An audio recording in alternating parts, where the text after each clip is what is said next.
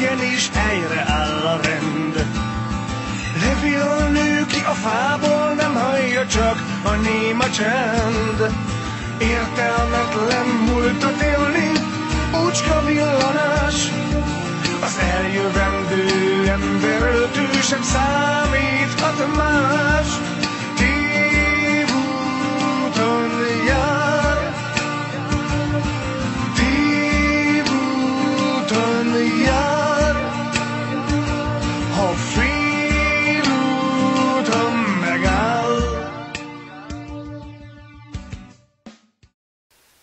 Na most mindkét előadónkat meghallgattuk, röviden szóltak, de tömören, és most már két kezet láttam fönn.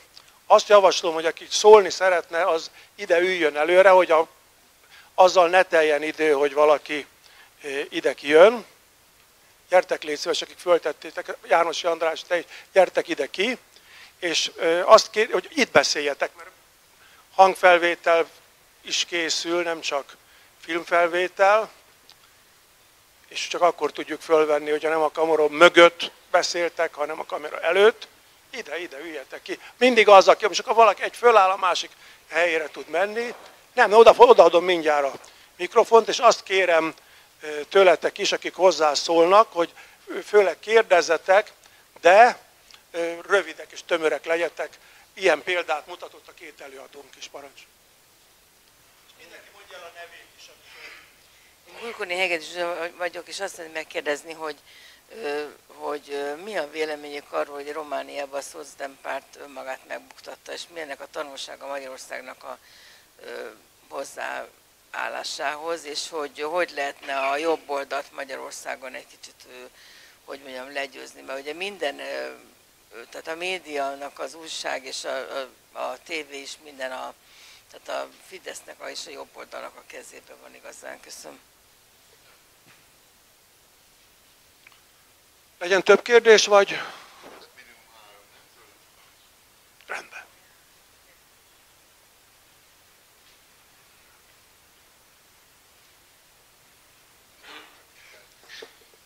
Kovács László vagyok, a Kovács Kikova László nevet használtam. Hát Vannak, akik így ismernek, csak erről a nevemről. Két témát szeretnék fölhozni. Pogácsa Zoltán előadásában azt hangzott el, hogy a politikusokat távol kellene tartani a hatalomtól. Ezt nem értem. Jogász vagyok, állampolitika jog, ismert ö, téma a számomra. Na most a politika az nem más, mint az állami döntéshozatal befolyásolása, befolyásolási képessége. Ez adja a politikust. Hát nem lehet őt megfosztani. Azon kívül három államhatalmi ág van. A bírói ítélkezői területen nem lehet hatalomtól megfosztani a résztvevőket, az világos. Törvényhozás és a végrehajtási hatalmi ágakban lehetne esetleg értelmezni azt, amit mondott. Tehát szerintem ez így nem értelmezhető felvetés. Politikus politizál. A másik Egyi Gyula előadása kapcsán, ami fölmerült bennem, a, az Európai Szociális Karta. Ez ugye valamikor a 60-as években született meg eredetileg, hosszú ideig, hogy úgy mondjam, pangott, majd 96, ha jól emlékszem a dátumra, amikor megszületett a módosított Európai Szociális Karta, kibővültek a tézisei, egy egyeztető számonkérő mechanizmus is előkerült, viszont ez a karta nem kötelező a tagországokra. Minden állam maga választja ki, hogy milyen pontokhoz, követelményekhez csatlakozik, vagyis ratifikálja vagy sem. 96-7 körül én úgy tudtam, hogy akkor egyetlen ország volt, Svédország, amelyik minden pontot ratifikált. Nem tudom, azóta változott ez a helyzet.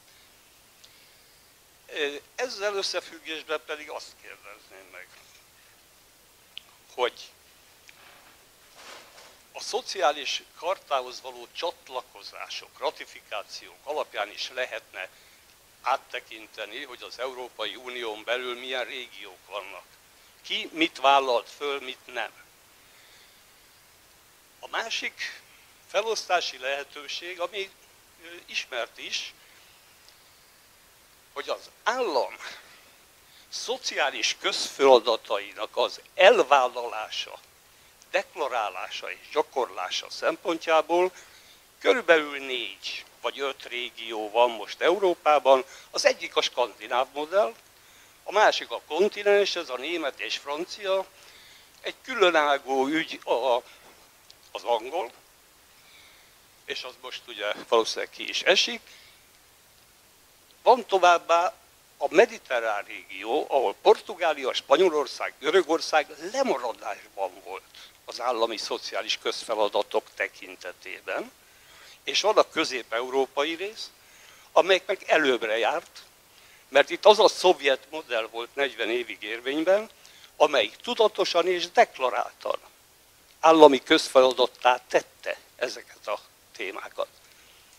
Egészségügy, oktatás, tömegközlekedés, lakásépítés, és még más. Nálunk viszont a rendszerváltozást követően, a politikai rendszerváltozást követően ezek a közfeladatok jó részt visszalettek sorvasztva, redukálva lettek. Emlékszem rá, hogy 95-ben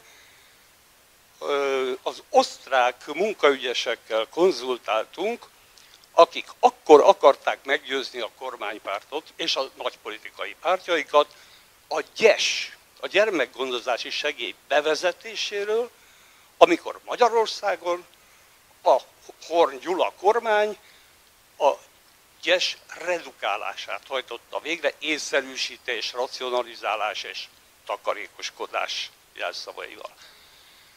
Na most az lenne a kérdésem, hogy nem arról van szó az európai szociális dimenzió kérdésében, hogy mennyire tudatosan és deklaráltan vállalják fel az államok, a tagállamok ezeket a közfeladatokat, vagy mennyire akarnak ezek az államok megszabadulni tőle.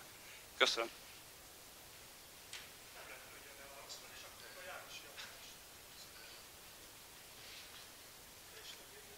Én sokkal rövidebb és sokkal demokratikusabb igyekszem lenni. A rövidebbet nem tudom, hogy hogyan fogom teljesíteni. A demokratikus alatt azt értem, hogy olyan témákat szeretnék fölvetni, amitől nem csak az előadóink fognak inget érezni arra, hogy válaszoljanak, vagy vitatkozzanak velem, hanem esetleg mindannyian. Nekem az a problémám, hogy hihetetlenül tisztázatlan ez a fogalom, hogy mi az, hogy baloldal, és azt gondolom, hogy sok politikai hiányosság is abból fakad, hogy ez a fogalom tisztázatlan. Mindjárt példával is szemléltetném, Gyula emlegette, hogy a francia köztársasági elnök milyen gyorsan és milyen nagy arányú győzelmet aratott. Hát ott eltűnt gyakorlatilag a szocialista párt, és a szocialista pártól balra lévők pedig teljesen kétségbe esettek attól a politikától, amit Macron keresztül fog vinni a a francia nemzetgyűlésen, és le fogja nyomni a szakszervezeteket, meg a munkásjogokat. Tehát attól függ, hogy ki mit ért baloldaliság alatt. Vannak olyanok, akik baloldaliság alatt ami olyasmit értenek, ami most veszélyeztetett Franciaországban. Ugyanakkor hát nyilván a Löpennel szemben ez egy nagy arányú győzelem. Tehát valahogy tisztázni kellene bizonyos értékbeli dolgokat, és ennek alapján megpróbálni meghatározni, hogy mi az, ami a mai baloldaliság összetevője, és milyen mértékig fontosabb a ez csak politikai csoportosítások, csoportosulások közötti, vagy politikai agendák közötti szimpátiák alapján nem lehet eldönteni, mert ezek nagyon gyorsan tudnak átalakulni. Példa Franciaország, vagy, vagy példa mondjuk Anglia is, ahol, ahol az, hogy munkáspárt legalább kétféle dolgot jelent, és akik most éppen a munkáspártot inkább meghatározzák, azok egészen balra vannak attól, amit amit mondjuk a Tony Blair jelentett hosszú időn keresztül, akik mondjuk, hát itt a magyarországi címkék nagyon félrevezetőek, mert ők Magyarország most mind a két előadónk a liberalizmust, vagy az SZDSZ-t ilyen egyértelműen jobboldali irányzatú politikának, vagy a Gyurcsány korszakot ilyesminek tartotta. Hát ez Anglián belül a, a, a Blair és ideológusainak volt a vonala, nem egy liberális politika. Tehát ezeket a fogalmakat muszáj tisztáznunk, mert különben becsapjuk magunkat, és nem, nem látjuk, hogy kivel, milyen alapon tudunk, vagy nem tudunk együttműködni. Azt gondolom, ettől kicsit eltérően, hogy vannak egy-egy ország előtt, vagy egy-egy kontinens előtt is olyan történelmi kihívások, amelyekre adott válasz nagyon meghatározza azt, hogy, hogy milyen legyen egy politikai erőnek az identitása. És azt gondolom, hogy Magyarországon ez mindenképpen egyik kihívás, a borzalmas szociális állapot, a, a 4 millió vagy annál több leszakadóban lévő embernek az állapota. Én azt gondolom, hogy az emberek önmagában is vagyont jelentenek, az emberek kultúrája, tudása, egészsége, és jelen pillanatban ezt a vagyont pusztítja az állam minden létező eszközzel. Azt gondolom, hogy az állam szerencsésebb tagjainak is birtokosai ennek a vagyonnak akkor is, hogyha pillanatnyi rendszer versenybe hozza őket. Tehát ha úgy tekintünk a szociálpolitikára, mint állami osztogatásra, akkor az verseny. Ha úgy tekintünk a szociálpolitikára, vagy a környezetvédelemre, mint a közvagyon megvédésére, akkor nem versenyről van szó, hanem, a, a, hanem arról, hogy ne tegyük tönkre azt, amit nem feltétlenül muszáj. Tehát az egyik ilyen kihívás az az, a, az, az szociális és, és környezeti közvagyonnak a megvédése. A másik, meg ilyen elkölcsi jellegű problémák, mint hogy hogyan viszonyulnak a Magyarországot most pillanatnyira kerítéssel nem megtámadni tudó, de hát attól még a sorsukban létező menekültekkel szemben. Hát nyilván egy keresztény újságíró esetében ezt könnyű megértenem, de, de azt gondolom, hogy a terembe ülőknek el kell gondolkozniuk azon, hogy mennyire elfogadható egy, egy hát nem szeretnék negatív jelzőket mondani, de gyakorlatilag nagyon sok baloldali, önmagát baloldalinak nevező párt egyetért azzal a politikával, amit ez ügyben a Fidesz folytat, holott az gyűlöletre épül és, és antihumanizmusra. Ezt szerintem így nem lehet tartani, de mindenképpen arra van szükség, hogy a magyar társadalom végig gondolja azt, hogy, hogy együtt tud élni egy olyan ideológiával, amely más emberek nyomorát távol tartandónak tartja, vagy pedig ezt elutasítja. Hát köszönöm szépen. Köszönöm szépen. A következő három előadó majd a válaszok után jön. Abban maradtunk, hogy, hogy három kérdéseként lépünk tovább. Melyikőtök akar előbb válaszolni? Köszönöm. Hát akkor elkezdem az Úgyis rövid leszek, mert a három kérdésből azért a gazdaság politikát, milyen modellt akarunk, azt nyilván Zolinak adnám. Az első, hát a, a román belpolitikában nem szívesen bocsátkoznék bele, igen, igen furcsa, nem merem a balkáni szót használni, de a ottani ide-oda helyezkedések elég furcsák, de hozzá kell persze természetesen tenni, hogy hát egy, még nem vagyunk a helyzetben, hogy saját miniszterelnökünket meg tudjuk buktatni, hogy előbb meg kéne nyerni a választásokat, míg a román szozdemeknek ez sikerült. Tehát a román, román és a szlovák szociáldemokraták tudnak valamit, amit mi nem, bizonyos tekintetben nyilván negatívabbak, vagy kevésbé demokraták, vagy kevésbé etikusak, de biztos, hogy sokkal nagyobb, szélesebb támogatásra támaszkodnak, mint a magyar szocialista párt. Hát ami az Európai Szociális Kartát illeti, nagyon sokat foglalkoztam vele. Ugye azt tudni kell, nyilván te tudod, hogy az Európai Szociális Karta nem az Európai Uniónak a kezdeményezése, hanem az Európa Tanácsé. Ilyen értelemben az Európai Unió tagjait felé egy, inkább mondjuk egy ilyen politikai elvárás, hogy minél több részét ratifikálják, de semmilyen Európai Uniós döntés, kötelezvény nincs arról, hogy az Európai Unió tagjainak el kell fogadni az Európai Szociális Karta összes paragrafusát. Érdemes lenne valóban, amit mondtál, megcsinálni, hogy egy kimut, van ilyen kimutatás, tehát a honlapon rajta van, hogy melyik ország mennyit ratifikált belőle, Mi egyébként középúton tartunk, tehát Magyarországnak nem az a legnagyobb baja, hogy a szociális törvénykezése rossz, hogy nincs szociális jogok a papíron leírva, hogy nem fogadunk el európai normákat, hanem az a baj, hogy ezeket a munkahelyek jelentős részén nem tartják be, hogy az állam nem kényszeríti ki, hogy nincsenek erős szakszervezetek, hogy nincsenek olyan mozgalmak, amelyek végrehajtatnák az állam által elfogadott szociális kötelezvényeket. Hát ami a baloldalt illeti, hát én is könyveket írtam erről, persze, hogy nagyon nehéz meghatározni. Én személy szerint ezt sose titkoltam, én antikapitalista vagyok, tehát azt gondolom, hogy a, az valódi baloldali az, aki egy a kapitalizmus leváltva egy szocialista közösségi társadalmat akar felépíteni, de ez, ez egy, hogy mondta, ez egy mozgalom és nem cél. Tehát egy folyamatos mozgalomnak kell el, és nem úgy, hogy megvalósul, és akkor ülünk benne ezután.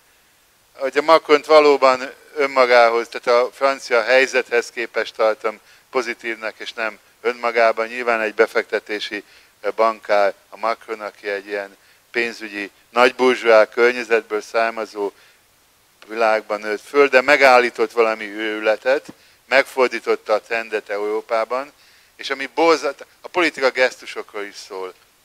Amikor győzött, akkor elsőnek az európai himnuszt énekeltette el, és csak utána a francia himnuszt. Az, hogy az Európai Unió, és számomra elkötelezett Európa vagyok, tehát szerintem az Európai Unió, főleg a Brexit után valóban az egyetlen lehetőség Magyarország számára, hogy demokraták és szociálisak legyünk.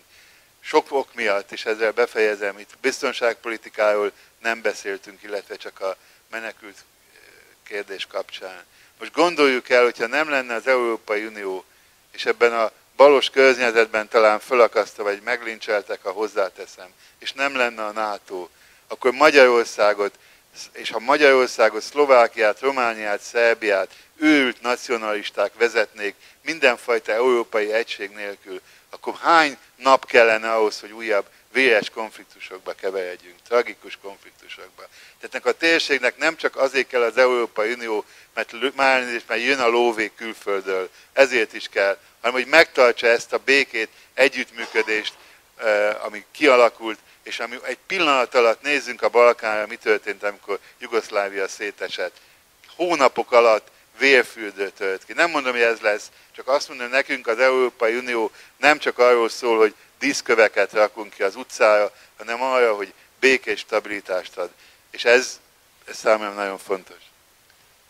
Volt egy kérdés a gyűlöletpolitikával kapcsolatosan is a Hát igen, vagyok annyira politikus, hogy a migráns kérdésre adott választ igyekszem el, el, el, el, el másolni. Ma, marha nehéz erre a kérdése válaszolni. Nagyon nehéz, mert egyszerűen más az etika és más a realitás. Az etikai minden menekültet be kéne fogadni, a realitás az, hogy egyszerűen van határa a befogadó készségnek az, ország, az európai országokban. Ezt látjuk mindenütt.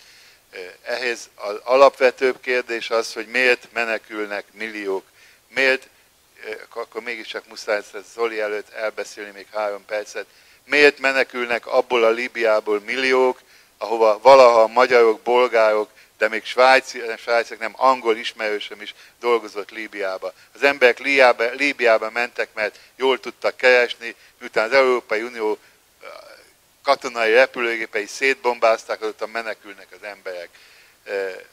Édesapám, hogy nem sokat dolgozott Kuwaitben, mint a Zoli, de apám is járt Irakba annak idején, még a diktatúra alatt, amikor elvesztett, valahol kitette a pénztárcáját, aztán megtalálta, akkor azt mondta neki a követségtől valaki, hogyha itt hagyná, másnap, másnap két dolog történne hogy vagy beviszik a rendőrsége, vagy itt lesz az asztalon. Az nem lehet a harmadik, hogy ellopják. Jó, nyilván ez túlzás.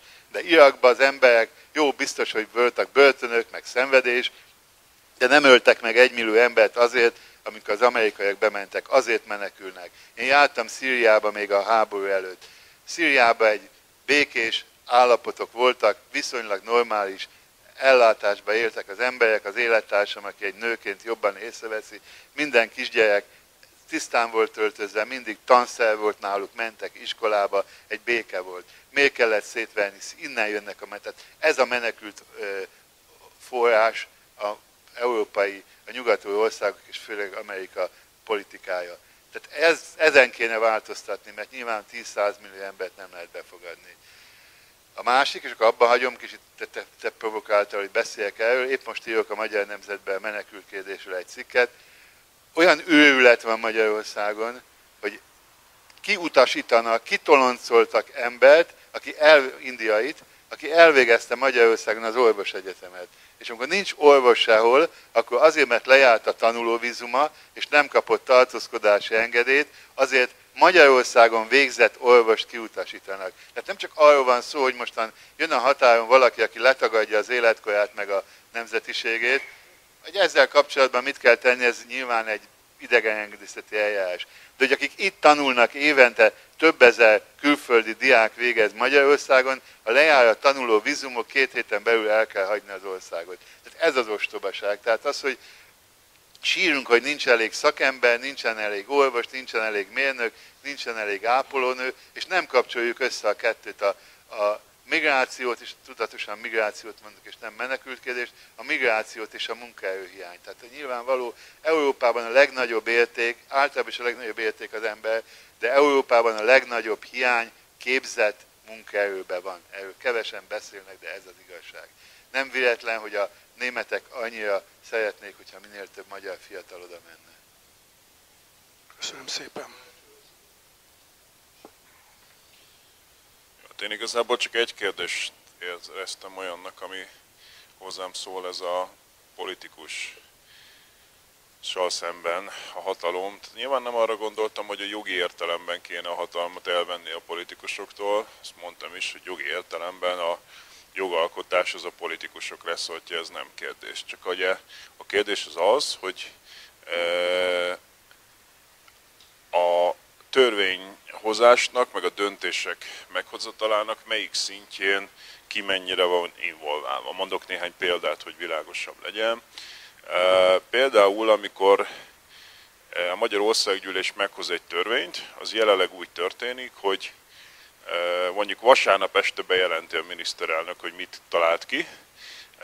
Hétfőn délelőtt átnyomják a bizottságokon, és mondjuk kedd reggel megszavazza a plenáris. Mondjuk Norvégiában úgy változtatnak meg egy ilyen horderejű törvényt, hogy három éven keresztül először egy szakértői konzultatív testület kidolgoz valami anyagot, utána a szociális, társadalmi, gazdasági partnerekkel megvitatják, e, és e, vitákat rendeznek róla, a sajtó megfuttatja, és akkor utána kerül egyáltalán a parlament elé, ha ezen a sok mindenen átment.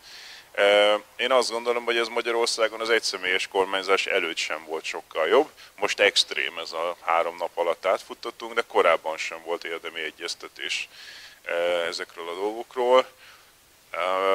Ezt a, mondjuk be tudnám mutatni a szakszervezetek és a munkaadók esetével. Nekünk az új egyenlőségen a szakszervezetek és a vállalkozók országos szövetsége is elmondta, hogy gyakorlatilag a kormány teljesen figyelmen kívül hagyja őket. Tehát egyszerűen nem, nem konzultál a kormány sem a munkaadókkal, sem a munkavállalókkal. Mondok egy példát, hogy hogyan lehetne decentralizálni a politikusoktól. Ugye jelenleg a minimálbér mértékét, az például a kormány állapítja meg. Egyáltalán nem szükséges, hogy így legyen. Csomó nyugat-európai országban az úgy működik, hogy a munkaadók és a munkavállalók iparági megállapodásokat kötnek. Tehát minden iparágban másra nem minimálbérnek hívják, hanem ipari bérminimumnak, vagy bérpadlónak, de ezt meg tudja kötni a munkaadó és a munkavállaló. Nem kell hozzá az állam, és nem kell hozzá a kormányzat, és még jobb is egyébként, mert lehet differenciálni az iparágok között, és ez egy teljesen standard gyakorlat Nyugat-Európában. Vagy azt, hogy mondjuk hogyan költsük el az EU-s pénzeket, azt nem egy extrém módon centralizált kormányzati szervezet működteti, hanem mondjuk érdemi regionalitás van, Nyugat-Európa jelentős részen érdemben működnek régiók, önkormányzatok, helyi és regionális önkormányzatok, és ők döntik el, hogy nagy részét az Európai Uniós fejlesztéseknek. És sokkal hatékonyabb, mert hogy ők tudják igazából, hogy mi, mi az, ami ott helyben tényleg szükséges. És hát persze az elején ez korrupcióval jár, amikor elkezdünk egy ilyet, a helyi közösségek kezébe adjuk a önkormányzás, a önfejlesztés lehetőségeit. Ettől Kelet-Európában megriadtak az emberek, azt látták, hogy nagyon sok korrupció van a önkormányzatiság körül, amire két lehetséges válasz van. Az egyik az, hogy akkor extrém módon centralizálunk, de arra azt gondolom, hogy ez a vizet markolás esete. Tehát egyszerűen képtelenség, képtelenség olyan extrém módon centralizálni, nem tudja a kormányzat meg, megmarkolni ezt a kárnyi vizet tulajdonképpen, ami Magyarország. A másik pedig az, hogy érdemben lehetőséget adni az embereknek, hogy kiizzadják a saját önkormányzatiságukat. És hogyha ez azzal jár, hogy le kell csukni néhány helyi politikust, és ennek, és néha csődbe kell mennie egy-egy városnak, és keményen meg kell tanulni az ottani polgároknak, hogy nézzem már oda, hogy egyébként kiviszi a helyi ügyeket, mert az előző garnitúra ellopta a pénzeket, akkor viszont lehet, hogy a következő körben sokkal jobban oda fog figyelni, és elmegy az önkormányzati választásokra, és hirtelen rájön, hogy számít, hogy ki kormányozza a városában. Hogyha úgy működik a dolog, hogy pontosan tudja, hogy bármennyi pénzt el lehet lopni, meg bármennyi adósságot lehet generálni, mert utána az állam időnként 1200 milliárdos nagyságrendben átvállalja az önkormányzatok adósságait, ezzel gyakorlatilag ellehetetlenítjük az önkormányzatiságot. Nincsenek adóbevételeik, nincs érdemi fejlesztéspolitikáik, nem ők döntenek az EU-s pénzekről, ha adósságot generálnak, átvállalja tőlük az állam. Ez azt jelenti, hogy Magyarországon majd ilyen látszat önkormányzatiság van, és nem az utolsó hat évben, hanem az utolsó mondjuk 25 évben. A 90-es évek elején megpróbáltuk, és aztán elvették a jogosítványokat minden megszorító intézkedésnél. Tehát erre gondolok, szakszervezetek, szakmai képviseletek, iskola, iskolaszékek, tehát ugye a leglétező legkülönbözőbb formában nagyon sok fajta hatalom van, azon kívül, hogy persze továbbra is a kormányzat hozza, vagy a parlament hozza a törvényeket a kormányzatnak a javaslatai alapján. Az úrral pedig csak egyet tudok érteni, tehát hogy na, alapvetően fontos tisztázni, hogy mi a baloldal és mi a nem baloldal, mi a szociáldemokrácia és mi a nem szociáldemokrácia. Én azt gondolom, hogy Magyarországon jelenleg ez folyik, tehát az elmúlt, eh, hát sajnos elég hosszan, de ezek mindenhol lassú folyamatok, Ugye 2010-ben a magyar baloldal katasztrofális vereséget szenvedett, 2006 és 2014 között elveszített a 2,2 millió választójából 1,3-at. Több mint a felét gyakorlatilag elvesztette, ha, ha, ha az egész mondjuk bal és liberális tábort nézzük, akkor még többet. És hát ezeket máig minden még nem tudta visszahozni. Tehát van egy közel 1,3 millió ember, aki nem hajlandó ezekre a pártokra szavazni. És most izzadja ki magát a baloldal. Én azt gondolom, hogy ebből a szempontból, amit a Botka csinál, az rendben van, azt kell csinálni, tehát amit a Bernie Sanders megcsinált Amerikában, a e, Jeremy Corbyn Nagy-Britániában, a Syriza e, Görögországban, és még portugál egyéb példákat mondhatnánk, spanyol, akkor azt gondolom, hogy ez folyik jelenleg Magyarországon, és ezt akarja a botka, és hát iszonyatosan nehéz, mert hogy egyrészt a szocialista párton belül sem érti mindenki a probléma lényegét, és hát ugye ráadásul még ott van a Gyurcsány párt, ami egy óriási balaszt ezen az egészen, ami iszonyatosan megakasztja azt a folyamatot, hogy érdemben megújuljon a baloldal mert hogy ők is állandóan bejelentkeznek, és hát mondjuk minden második nap baloldalnak mondják magukat, néha nem, néha liberálisnak, néha konzervatívnak, de hogy Hát, mi csináltunk erről egy beszélgetést a héten Gyurcsány Ferenccel, ahol azt a kérdést tettük fel, hogy szociáldemokrata egy Gyurcsány Ferenc. Én azt gondolom, hogy egy nagyon értelmes fickó, nem az a baj vele, hogy ne lenne értelmes, és azt gondolom, hogy azt a részét meg, megértette, hogy mi a, mit jelent a baloldaliság. Tehát odáig azt hiszem még konszenzusra is tudnánk jutni vele, hogy a baloldaliság az alapvetően a, mondjuk az újraelosztást, az esélyteremtést jelenti.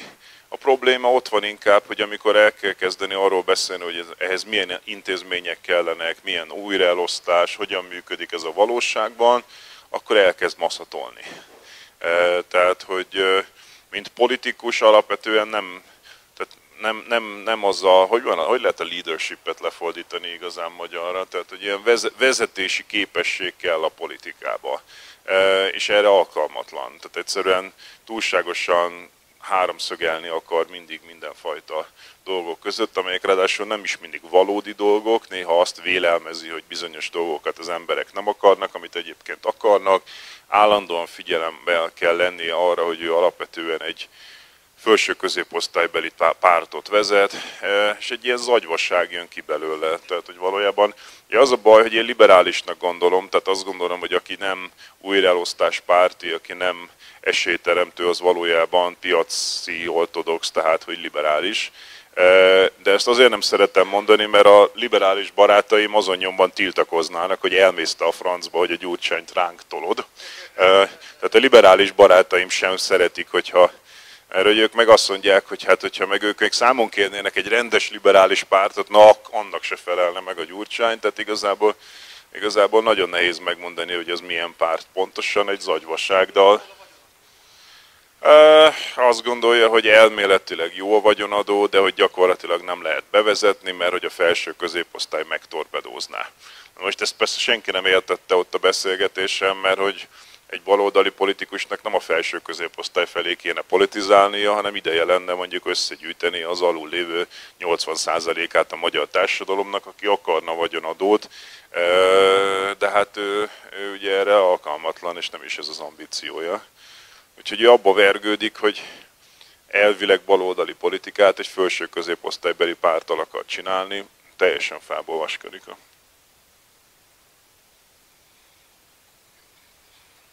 Nagyváradi Szűcs Mihályt illeti a szó. Gyere ki, légy szíves Attila, te is. Kedves barátaim, Nagyvárad... Kedves barátaim, Nagyváradi Szűcs Mihály vagyok, és én végignézek a sorokon, azt hiszem, hogy aki jelen van, nem azért van jelen, mert nagyon, nagyon is elfogadja a jelenlegi magyarországi állapotokat.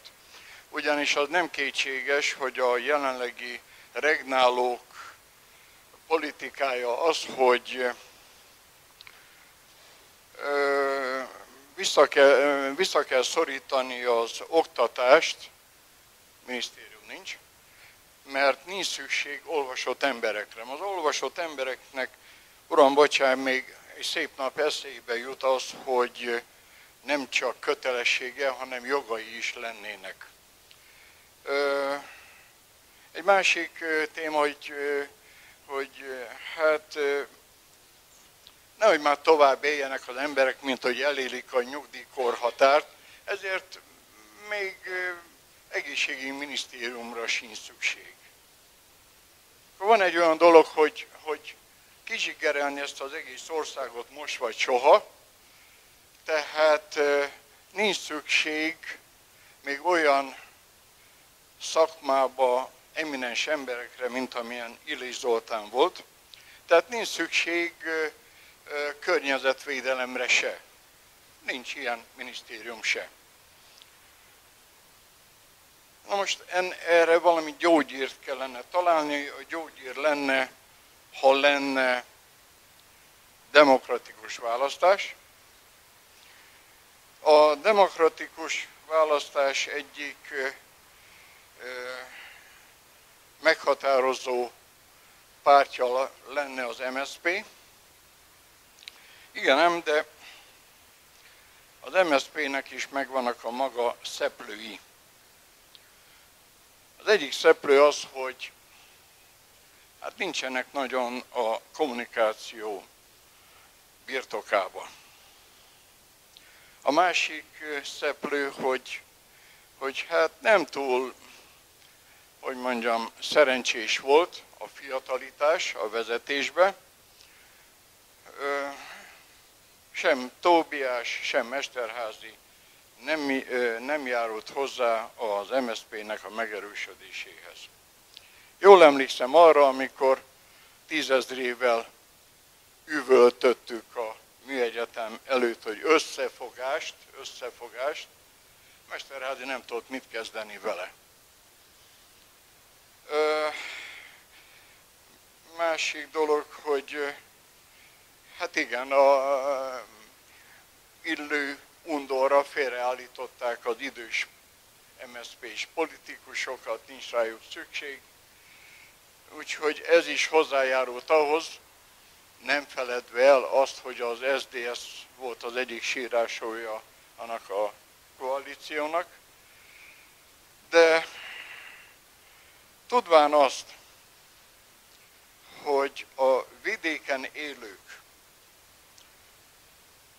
akik nem tudják elképzelni, hogy holnap milyen reggelit adjanak a gyermekeiknek, nem, hogy még kábel televízióra, meg, meg népszavára előfizessenek, tehát az igaz szó, a, a baloldalnak a, a szava sehogy sem jut el hozzájuk. Sajnos a regnálók egyik nagyon szomorú fegyvere a félelemkeltés. Nem mer megszólalni, mert holnap már nincs kenyere. A gyermeke iránti felelősség érzete Pélen arra predestinálja, hogy, hogy jobb, ha hallgatsz, mert jobb holnap a fekete kenyér, mint holnap után a nem létező fehér. Én azt szeretném tanácsolni, hogy fel kell venni a kapcsolatot a vidékkel, a szegény emberekkel. A egykori szórólapokkal, röpcédulákkal való felvilágosítás, hogy, hogy hát nincs más megoldás azért, hogy, hogy holnap is éljünk, hogy holnap is legyen a gyermeknek ö, reggelie. Nincs más megoldás, mint a baloldalnak a, a megválasztása. Köszönöm szépen, hogy meghallgattak.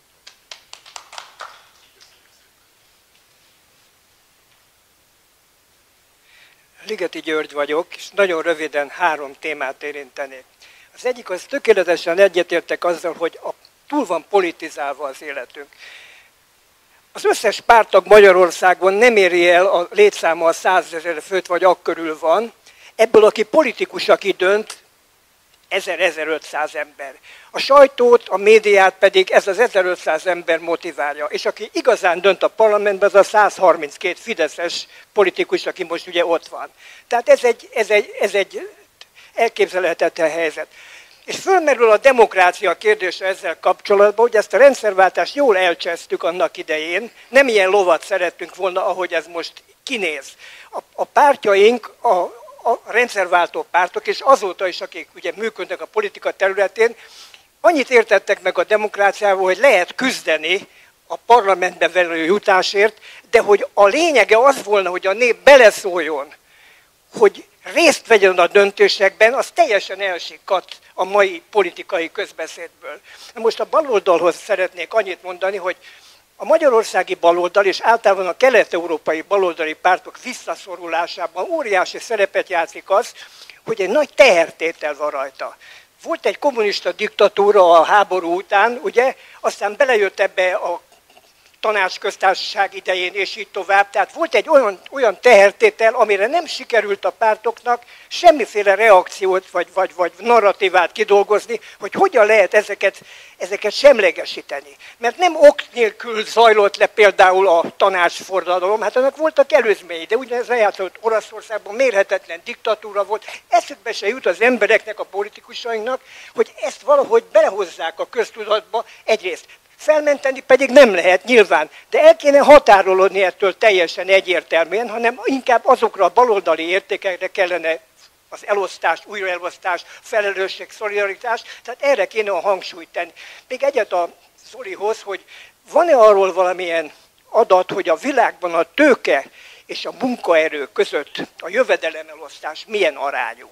Mert ez egy nagyon lényeges dolog lehet. Ennyit szerettem. Hát, ha igazán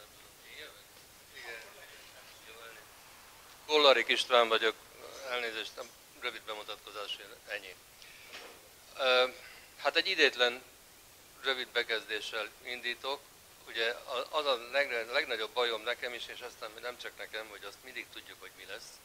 Az a baj, azt nem tudjuk, hogy addig mi lesz. Teljes mértékben egyetértek azzal, hogy az igazi célunk az a skandináv modell kellene, hogy legyen. Na de hogy a fenébe jutunk? Hogy jutunk, hogy jutunk el oda? Így jó lesz? Hát ugye a, a Pogácsa úr mondott egy ilyet, hogy meg lehet tanítani az embereket, na ez az, amiben én erősen kételkedem. Végtelenül erősen kételkedem. Kikova úrnak is kell, hogy egy kicsit módosítsam a, a, a számait. Ezelőtt legalább 20 évvel, ha nem több, de legalább 20 évvel készült egy teljes Európára kiterjedő felmérés, amelyik legalább 100 minősítő jelzővel írta le az egyes országoknak a társadalmait. És abból a fölmérésből nagyon világosan kiderült, hogy nagyon elkülönülnek különböző régiók Európában. Egy régió a protestáns Európa, ezen belül is a, a skandináv terület, ugye ennek egy második része a nyugat-európai protestáns területek, egy része a, ugye a, a Dél-Európa, nem akarom ragozni a dolgnak, a lényege az, hogy az egyértelműen kiderült, hogy a magyar társadalom jellemzői legközelebb a Balkánhoz vannak. Ez a szomorú igazság. De a dolognak a lényege tehát az, hogy nem olyan egyszerű ez a dolog, hogy meg lehet ezt a társadalmat egyik pillanatról a másikra változtatni. Történelmileg determinált az, hogy ebben az országban mi történik, tudatilag, kulturál, kulturálisan nagy mértékben determináltak a folyamatok. Ezt azért tartom fontosnak elmondani, mert azt is látni kell, hogy a Fidesznek az ereje és a győzelmei nagyrészt abban vannak, hogy alkalmazkodik ehhez az adottsághoz. Nem megváltoztatni akarja, hanem meglovagolni.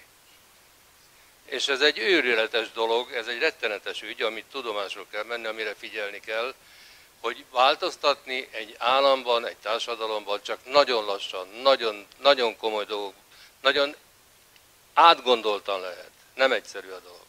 Ez, ez az egy. Kettő, a másik, amit megjegyzést szeretnék tenni. Ön, a helyi önkormányzatiság. Több modell létezik a világon. Én 1985-ben, amikor az adóreformot készítettük elő, kint voltam Párizsban, a francia pénzügyminisztériumban, ahol tátott szájjal bámultam azt, hogy a francia pénzügyminisztérium az lényegében az a, hogy a, a, hát a kincstárnak megfelelő részén bevittek a számítógépes rendszerbe, és megmutatták, hogy egy órával ezelőtt egy legkisebb francia faluban milyen kiadásokat teljesítettek. Na most ehhez képest tulajdonképpen a teljes önkormányzati rendszernek a, a pénzügyi hátterét kézben tudták tartani, és azt nem, nem merném mondani, hogy ezzel együtt Franciaországban nincs önkormányzatiság. A saját forrásokban igenis tudnak sajátságos döntéseket hozni az önkormányzatok. De minden, minden egyes társadalom számára ordi, óriási kérdés, hogy mennyire engedi meg a differenciálódást az önkormányzatok között. A saját források determinálják-e az oktatási rendszer lehetőségeit, vagy pedig nem. Tehát amikor arról beszélünk, hogy az önkormányzatiságnak így amúgy kellene kialakulnia, szembe kell néznünk a korlátokkal, azokkal a korlátokkal, amelyek ezekből a pénzügyi forráselosztási kérdésekből származnak. És végül a harmadik dolog, amit hát szeretnék megjegyezni, megjegyezni ez már csak egy ilyen fél, félmondat, Gyurcsány. Gyurcsány mögött nincs párt. Van a Gyurcsány, aki egyébként egy egyszerű agitprapos ember. Nem több. Tehát mi azért tévedünk állandóan, mert komoly, komoly valami ideológiát feltételezünk mögötte, meg róla, valójában igazából egy agitprapos. Múltja is, ma is az. Elnézést között.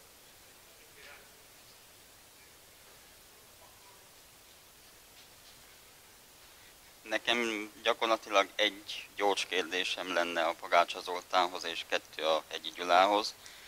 Ö, hogyan látja egy közgazdász ö, egy olyan országnak a jövőjét, ahol a 20 és 40 év közöttiek döntően el akarnak menni, és jó részük el is fog menni.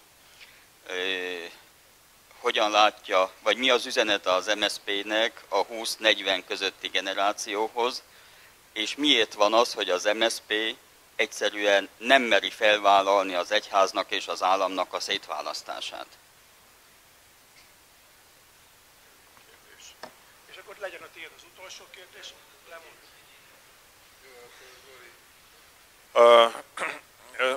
Az első kérdésben ugye volt egy olyan, hogy ön, ön azt mondta, hogy önök kiabálták a mesterházinak, hogy összefogást, összefogást. Miért kiabálták ezt? Én ugyanis ezt nem értem.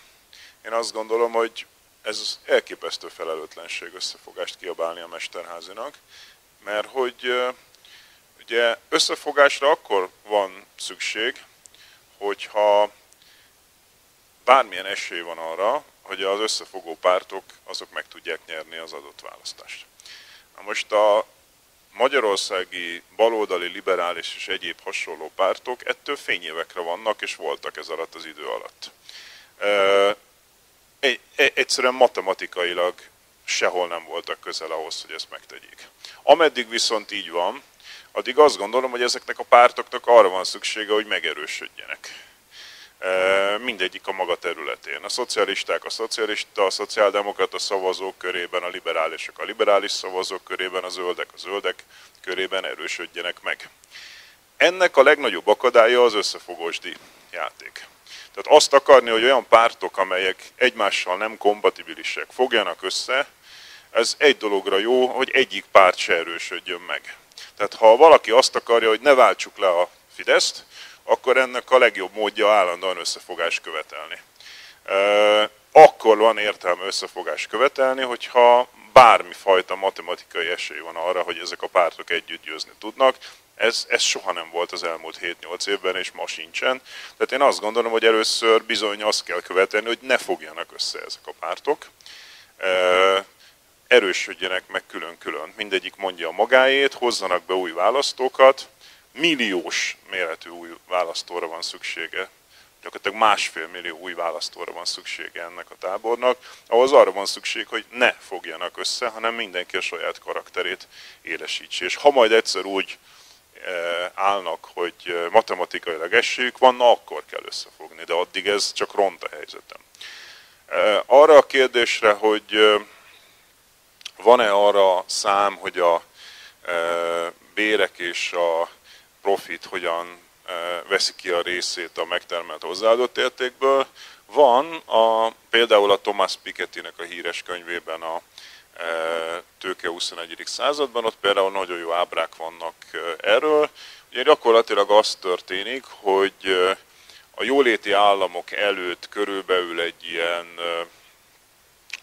40%-a, 35-40%-a tőkearánya, tehát a profit aránya, ez lemegy ilyen 20 környékére a jóléti államok alatt, tehát ott akkor, amikor a szakszervezetek erősek, és ki tudják harcolni a magasabb béreket az 50-es, 60-as, 70-es években, akkor ez lemegy ilyen 20-25 környékére, attól függ, melyik országról beszélünk, és ugye a, a bérek följönnek 80%-ra, majd a 70-es évektől, amikortól a neoliberalizmus elkezdődik, akkor ez a folyamat megint megfordul, és ismét a bérek kárára fölmennek a, e, a tőke e, részesedései, a profit, és megint egy ilyen 40 környékére. Most azt viszont tudni kell, hogy itt nálunk Kelet-Európában 10%-kal kisebb a bérarány. Tehát a nyugat-európai jóléti államokhoz képest itt egy jó 10%-kal kevesebbet visznek haza az egyébként is kisebb megtermelt értékből a foglalkoztatottak mert hogy nem hajlandók belépni a szakszervezetekbe. Tehát gyenge szakszervezetekkel azzal az önáltatással, hogy a multinacionális cégek és a hazai KKV tulajdonosok jó voltából majd magasabbak lesznek a béreik, ez, ez, ez mostanában hal ki ez a 25 éves önáltatás, és mostanában kezdenek rájönni az elmúlt években, kezdtek el aktívan foglalkozni azzal a magyar, cseh, szlovák, szerb munkavállalók, most éppen Belgrádból jöttem ma reggel, és sztrájk van a Fiat gyárban, Kragujevácban, sztrájk van a Volkswagen gyárban, Szlovákiában, sztrájk van Magyarországon a Tesco-ban, tehát most kezdődött el igazából az, hogy az emberek elkezdtek rájönni arra, hogy bizony érdekérvényesítés kell, ami tulajdonképpen elég jó átvezetés ebbe a kultúrdefetista kérdéskörbe, ami az önkérdésében benne van. Én, én ezt az egyik legkárosabb dolognak tartom Magyarországon, ezt a típusú kulturális defetizmust. Ha valaki azt gondolja, hogy komplet nemzeteket le lehet írni ilyen nemzetkarakterológiai jegyekkel, hogy passzívak és nem tudom milyenek a magyarok, ez még a jobb oldaltól is nagyon-nagyon problémás, de hogy a bal oldalon ezt mondja valaki, akkor azt gondolom, hogy ez gyakorlatilag akkor, akkor menjünk haza. Tehát akkor semmit ne akarjunk csinálni, akkor nem kell aktívnak lenni. Aki ezt gondolja, az nevelje, gondozza a kertjeit, nevelje az unokáit, mert ne foglalkozzon közügyekkel. A közügyekkel való foglalkozás az ugyanis azt feltételező, hogy az ember hisz abba, hogy valami megváltoztatható, és ehhez még baloldalinak sem kell lenni, mert például egy liberális el szeretné érni, hogy mondjuk a, mit tudom én, a melegházasság elfogadott legyen Magyarországon, vagy a, tudom én, szexuális kisebbségek elfogadása. Na most annak sincs a hagyománya Magyarországon. Ha valaki azt gondolja, hogy erre szükség van, akkor egy liberális pártban aktívkodik, és aktívkodik. És ha valaki azt gondolja, hogy mondjuk fenntartható energiára van szükség, akkor belép egy zöld pártba, és egy zöld pártban aktívkodik. Ha valaki azt gondolja, hogy magasabb újraelosztásra van szükség, akkor egy szociáldemokrata pártban teszi ezt. Tehát mindenfajta politikai létezés, az tulajdonképpen azt feltételezi, hogy a világ megváltoztatható. Most amit ön mond, az az Ingelhát Velcel féle értéktérkép, amit előszeretettel mutogatnak egymásnak a Facebookon, a liberálisok egyébként, mert hogy a legjobb indok arra, hogy ne csináljunk semmit ebben az országban. Csak az a helyzet, nagyon ajánlom, az új egyenlőségen megjelent egy cikkünk, az a címe, hogy nem vagyunk Kádár birkái, ami tulajdonképpen dekonstruálni próbálja ezt a képet, hogy komplet nemzeteket homogén egységnek tekinthetünk. Ez Orbán Viktor megközelítése, amikor hazajön Szerbiából és azt mondja, hogy a szerbekben lehet bízni, mert azok megbízható emberek, meg a mit tudom én, a, a, a tótok ilyenek, a nem tudom kicsodák olyanok. A, a feltétlenül nélküli alapjövedelemről ne beszéljünk, mert etnikai viszonyaink ezt nem engedik meg. Azaz, hogy a cigányok lusták és így tovább, és így tovább. Tehát ez, a típusú megközelítés, ahol komplett nemzeteket homogénnek tekintünk, ez egyébként az értékszociológiában is meghaladott. Tehát azokat a térképeket, amelyeken Magyarországot valóban a Balkánhoz hasonlónak mérték, ezeket a 80-as években készítették. Én elég sok időt töltöttem a hangkis elemér mellett, úgyhogy eléggé ismerem ennek a folyamatát. Ők csinálták Magyarországon ezeket az értékszociológiai kutatásokat. A mai értékszociológia már nem feltételezi, hogy egy, egy homogén nemzet lenne. Ma már Ingelhárték is azt kutatják, hogy értékkohorszok vannak egy társadalmon belül. Most képzelj el azt, hogy a mondjuk a, a 60-as éveiben járó szocialista szavazó városi mérnök ember értékrendszere, az mennyiben különbözik mondjuk a, a 20-as éveiben járó egyetemista LMP szabvazó, bicikliző embertől, és mennyiben különbözik a vidéken mondjuk birka gulyás csináló jobbikos kisvárosi szavazótól, vagy a falusi kereszténydemokrata nénitől. Ezek egészen külön értékvilágok. Alig találna bármit ezek között az emberek között, amiben ezek az emberek megegyeznének. Ma már az értékszociológusok ezeket vizsgálják, ezeknek a kohorszoknak, értékkohorszoknak az arányai elmozdulnak, e, és úgy változik meg egy ország. Ha valaki azt hiszi, hogy semmi olyat nem szabad csinálni egy országban, ahol aminek nincsen hagyománya, akkor 89-ben nem szabadott, vagy nem kellett volna rendszerváltást csinálni, de gyakorlatilag semmiben nem kellene hinnünk, a szabad sajtóban sem kéne hinnünk, akkor tényleg haza kéne menni, és semmi, semminek nincs értelme. Az intézmények változtatják meg az embereket. A társadalom úgy működik, hogy új intézmények lehetőségeket teremtenek az embereknek, azok élnek vele. Az, hogy a legnagyobb mondjuk szolidaritás és a leginkább aktív cselekvő emberek azok Skandináviában vannak, arról csak Csepeli György gondolja azt, hogy az véletlen, vagy hogy a, a, a kettő között az lenne az összefüggés, hogy a, az öntevékeny protestáns emberek hozták létre a skandináv jóléti államot, bárki, aki egyébként kicsit utána gondol racionálisan, az rájön, hogy ez fordítva van. A jóléti állam teszi lehetővé a skandináv embereknek, hogy magabiztosan mozogjanak a világban, mert nincs félnivalójuk. A magyar társadalom jelentős része azért folytat defenzív, védekező életstratégiákat, mert nincsen megtakarítása, és az állami újraelosztás nem ad neki biztonságot. Ha ezt megteremtjük, akkor egészen másképp fognak viselkedni a magyarok, tehát igazából a, azt gondolom, hogy a, a, a, az intézmények alakítják az embereket. És volt az úrnak egy, még egy kérdés, mi volt a, hova lett? Igen, mi volt a? Ja. Ja, ja. Én egyébként nem gondolom, hogy ilyen sokan el, elmennének. Tehát az, hogy hányan akarnak elmenni ebbe az országból, ezt mindig sokkal többen mondják, mint a hányan egyébként tényleg elmennek. Magyarországról relatíve kevés ember ment el. Tehát az a helyzet, hogy mivel elterjedt a közvéleménybe, hogy itt valami óriási kivonulás van Magyarországról, de a helyzet az, hogy körülbelül a felnőtt népesség 5-6 százaléka ment el külföldre, miközben mondjuk ez nemzetközi összehasonlításban rendkívül alacsony.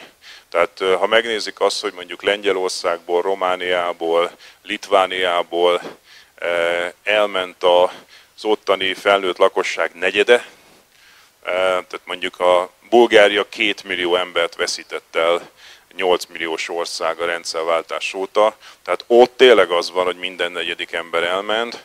Magyarországon ez egy relatíve kis vérveszteség egyelőre, egyre gyorsuló, tehát az igaz, hogy egyre többen mentek el az elmúlt időben, de messze nem fog annyi ember elmenni, mint amennyi mondja magáról, hogy elmenne.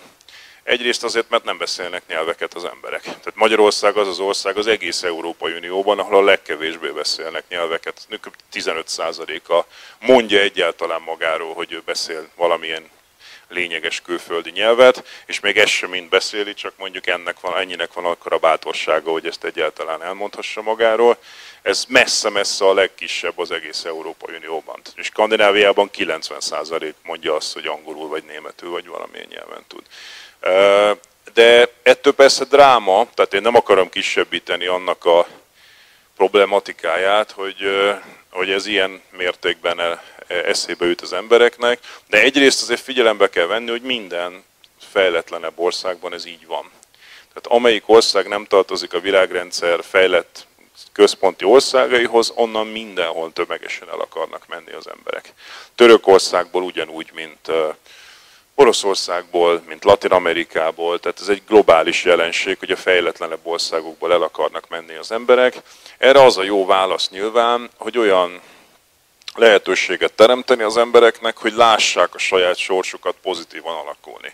Tehát az ilyen migrációval kapcsolatos szakértők, kutatók azt szokták mondani, hogy nem az a, e, a migrációnak az igazán nagy kiváltó oka, hogy valahol jobb a helyzet, hiszen mindig van, ahol jobb a helyzet, hanem az, azt a kérdést teszik fel maguknak a fiatalok ilyenkor, hogy van-e, van-e lehetőségem ott, ahol élek, elkezdeni egy értelmes karriert és családot.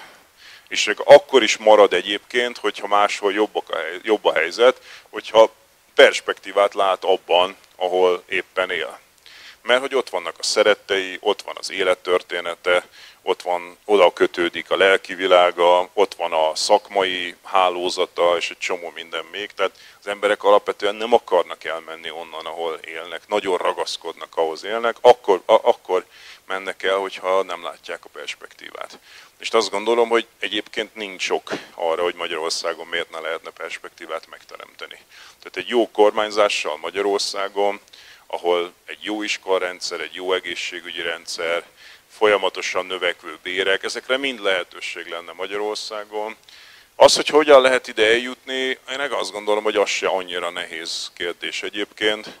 E, ne legyünk tefetisták, a magyar társadalom túlnyomó többsége ilyen társadalmat akar. Tehát mondom, 90 óta folyamatosan a felmérések azt mutatják, hogy a magyar társadalom nagyobbik része az egy közösségi újraelosztó igazságos társadalmat szeretne. Egész egyszerűen eddig még nem fogalmazta meg magát egy olyan politikai párt, ami ezt kínálta volna. Tehát igazából meg se próbálta még politikai erő ezt a kínálatot megteremteni a keresletre, és azt gondolom, hogy ezeket az intézményeket létre lehet hozni. Tehát mondok egy példát, hogy jelenleg relatíve kevesen tagjai a szakszervezeteknek, de ha mondjuk bevezetnénk azt a rendszert, hogy ahogy a 1%-ot lehet adni civil szervezetnek, 1%-ot lehet adni egyháznak, úgyhogy egy harmadik 1%-ot lehetne adni például szakszervezeteknek. Egyébként a béremelés óriási tér van még Magyarországon, tehát sokkal magasabb bérből, sokkal több ember, ha befizetné az 1%-át a jövedelmének, akkor, akkor például egészen működőképessé lehetne tenni a szakszervezeteket.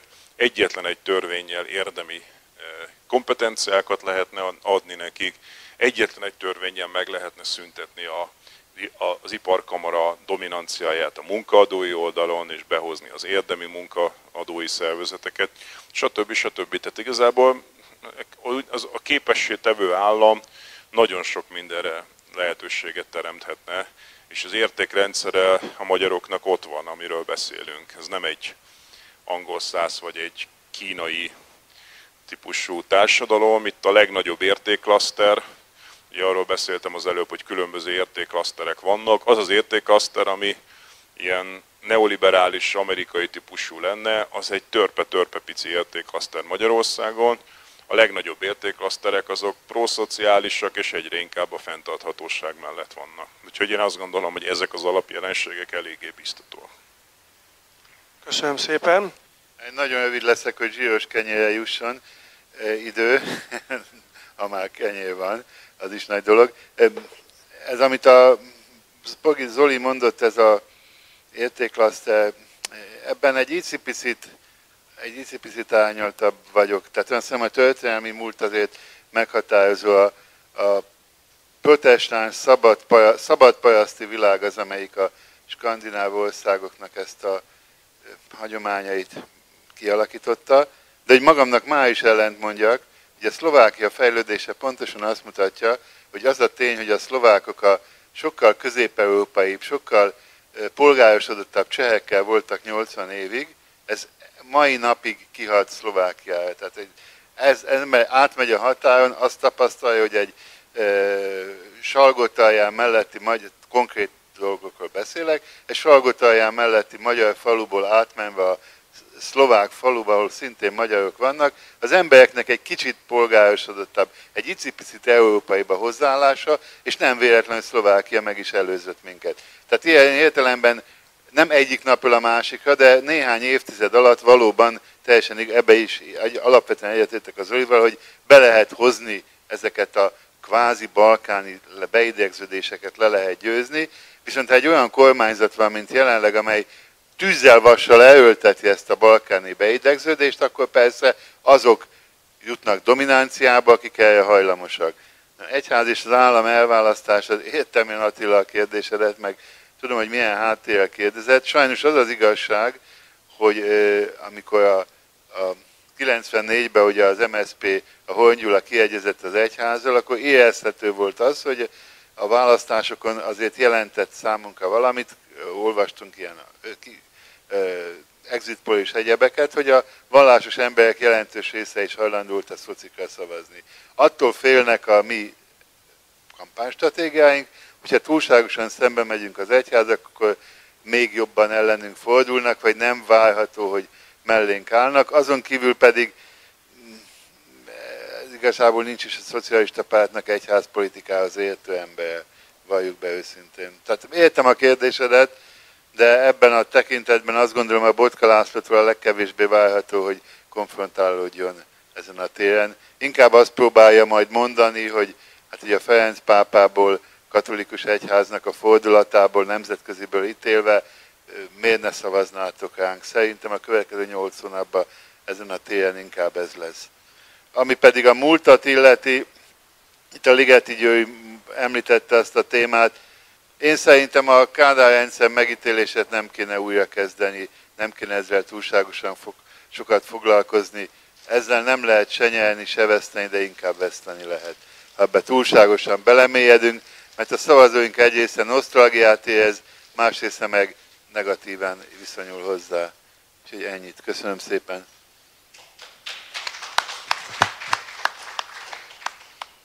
Elszálltam lámor, igenis helyre áll a rend.